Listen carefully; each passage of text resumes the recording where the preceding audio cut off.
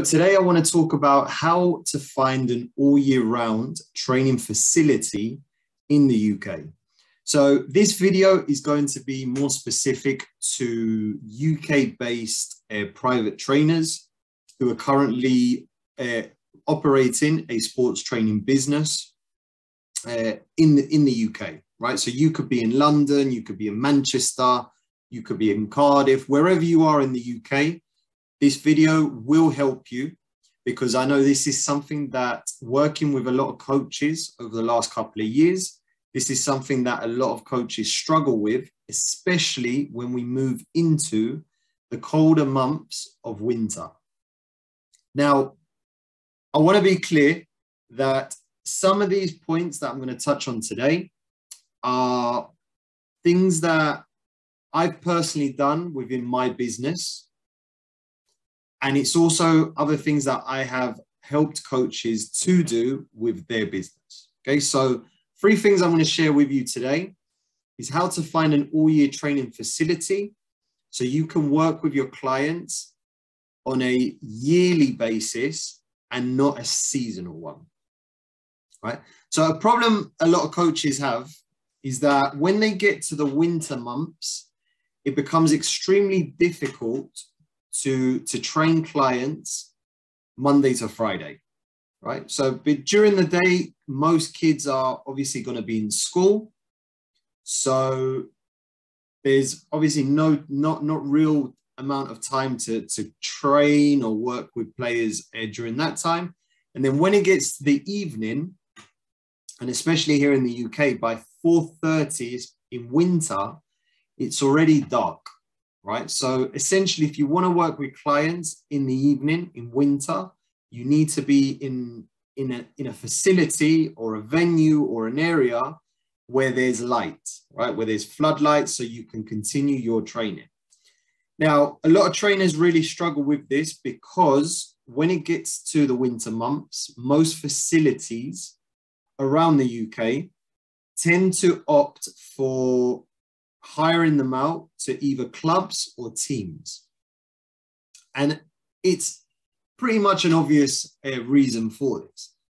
Number one, clubs and teams can pay more for that training facility.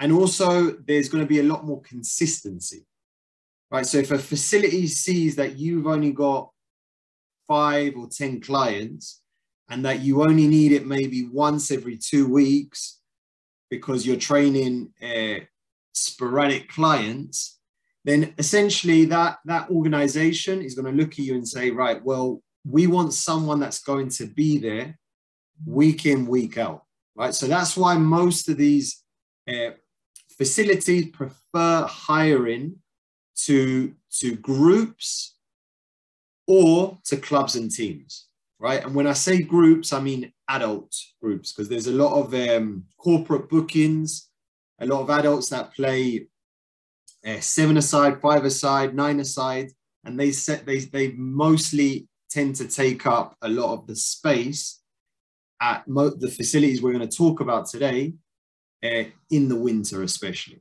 Okay, so the first one is in order to find a, an all year round training facility, Okay, we've got to try and look for private organizations, right? So private organizations could be a Powerleague, right? It could be goals, soccer center. It could be uh, churches, right? There's a number of churches that I know, especially in my area, that have indoor, uh, have an indoor hall or a gym space where you can work with clients on a one-to-one basis right? Also some private gyms, right? There's this one coach that, that I've been working with, uh, and what he does is he's arranged a, a partnership with a local uh, private gym that from, from this time to this time, that uh, private gym is going to be hired out for him so he can work with his clients. And in exchange, he does some PT, so personal training with some of the clients in that gym. Okay, so there's a lot of organizations out there that if you contact them and you speak to the decision maker, you might be able to come up with, with some sort of agreement or, or partnership where you can provide them value and in exchange they will give you some some space whether that be outdoor indoor or like i was saying in a private gym where you can work with your clients uh, privately and especially during during the, the winter months and all year round.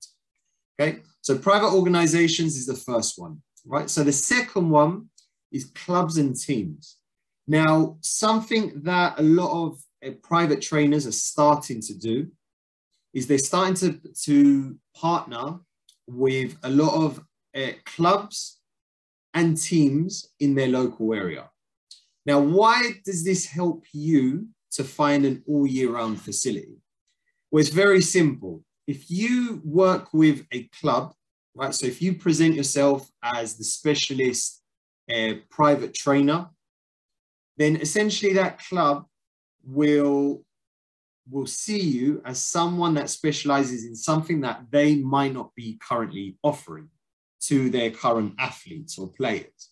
So if you come in and you express an interest to help their players, uh, you can provide value, you can speak to the decision maker, and you can essentially close them on you coming in and providing sessions for some of their players you might be able to, to find an all year round facility to do your private training sessions from.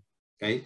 Now, I know there's, there's this one coach that does this really well. He's based in London. And what he does is he partners with specific clubs, right? And what he does it more specifically, he partners with teams.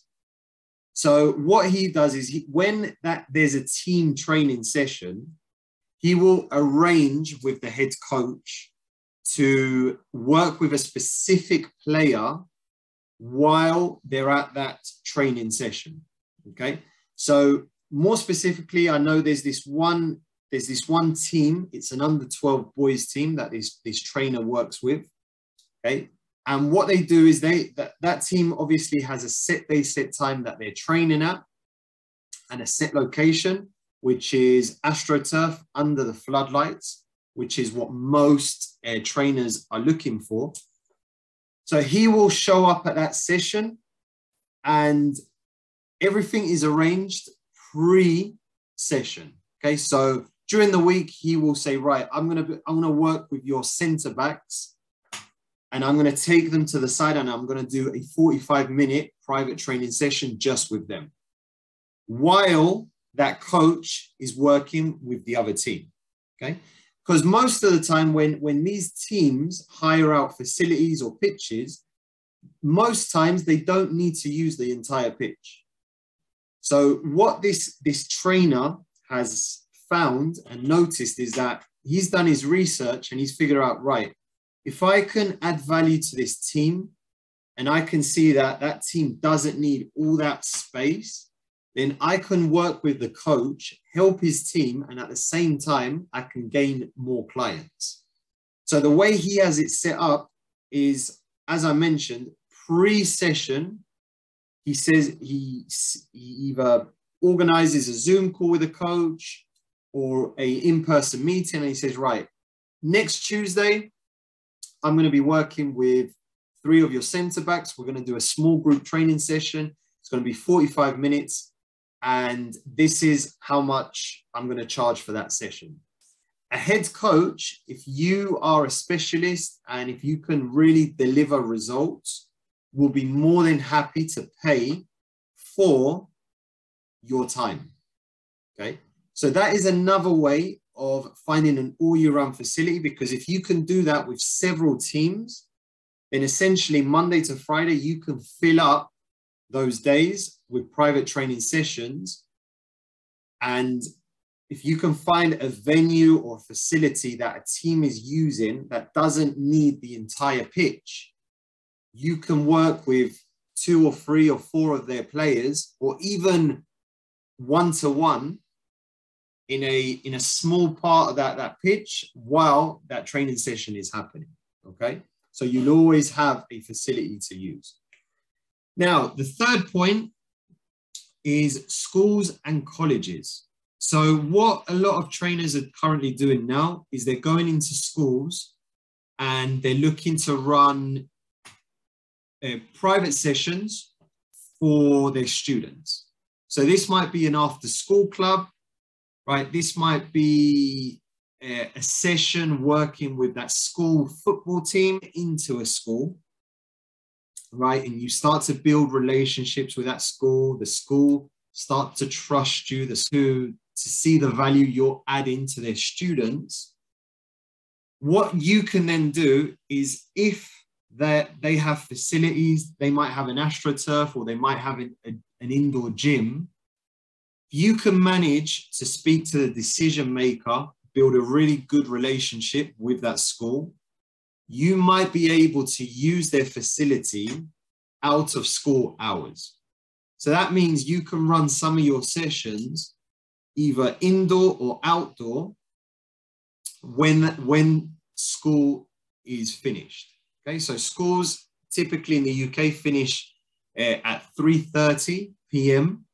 So 3.30 p.m. onwards, if you build a good relationship with that school or that college, right, and you can provide value to their students and you start to build trust, you might be able to then sit down with someone that is a decision maker in that school, explain to them what you're doing, what your business wants to do, what you specialize in, and how training those, those kids will help to not just get more exposure for the school, but also you can provide your service to their, their students at the school as well. Okay. So these are three very simple, basic, and current ways that private football trainers here in the UK are currently doing to find an all year round facility in their local area where they can use to run their business, right? So if this is something you need more help with, okay, if you have a training business and if it gets to winter and you're really, really struggling to find a facility or you need more help, more guidance, and you need just just someone to talk to about that, okay, get in contact with me. I'll be more than happy to, to schedule a free 15 to 20 minute call with you, see where you are with your business, see where, we, where you want to get to, and how we can solve this problem for you so you can ultimately find an all year round facility and train clients all year round as well.